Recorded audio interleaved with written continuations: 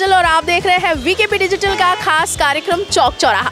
और अभी हम लोग मौजूद हैं उपराजधानी नागपुर के अजनी चौक में। और खुशखबरी यह है कि आठ सालों से बंद पड़ा घंटाघर, या फिर यूँ कहूँ क्लॉक टावर, जो कि अभी फिर से शुरू हो चुका है। और नए साल में लोग इसे नए अंदाज में देखने वाले हैं।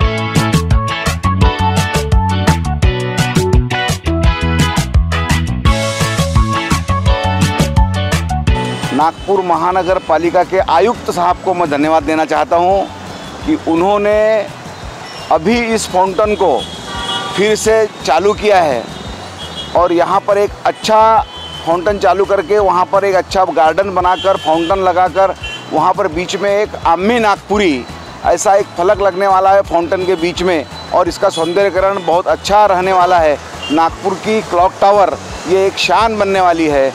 इससे नागपुर शहर का सौंदर्यकरण बनने वाला है। और नागपुर शहर का, नागपुर शहर में एक क्लॉक टावर नाम का एक अलग ही कंसेप्ट हमारे नागपुर महानगर पालिका में रहने वाला है।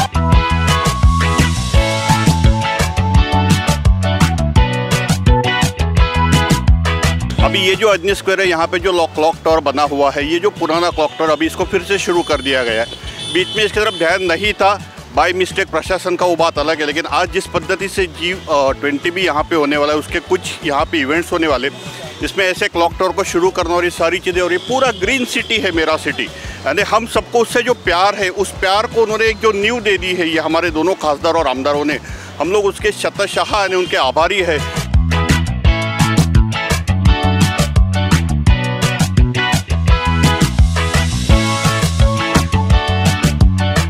कहना चाहती हूँ जैसे ये क्लॉक टावर अब तक के तो बंद था क्योंकि मैं काफ़ी सालों से यहाँ पे जाती थी। बना के रखा था पर चालू नहीं था। जो इनका यानी एमएनसी ने भी जो आ, उसको शुरू किया और वो एक बच्चों के लिए भी अट्रैक्शन है।